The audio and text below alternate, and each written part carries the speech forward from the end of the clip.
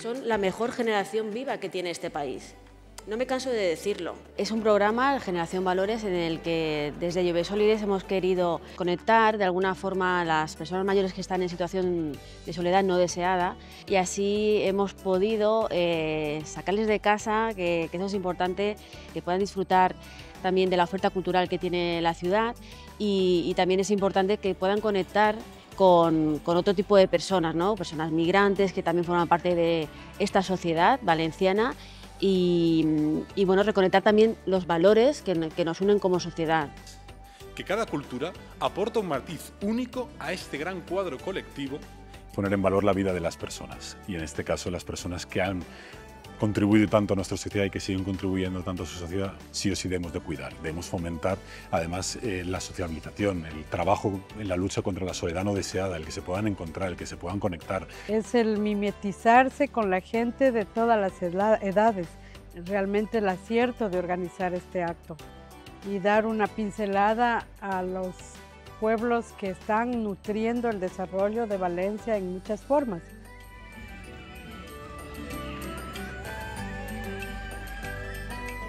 A, muchas personas que se encontraban en una situación de soledad no deseada y a través de los encuentros comunitarios eh, ver con el tiempo cómo van creando su propia red de apoyo y sus, sus grupos dentro de, de, este contexto que es Generación Valores.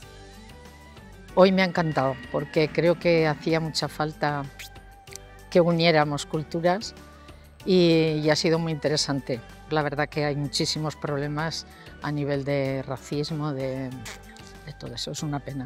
Eh, recordemos que nuestras raíces están vivas en todo. Recordemos que hay una Valencia romana, una Valencilla árabe y la Valencia de ahora, la Valencia nuestra. Yo creo que el conocimiento de nuestra historia, de nuestras raíces, es fundamental para entender quiénes somos hoy en día, cuál es nuestra cultura y cómo eso nos vincula y nos conecta con el resto de culturas. Que el descubrirlas hace que entendamos que nos conecta con los pueblos mediterráneos y no son extraños para nosotros, sino que son hermanos.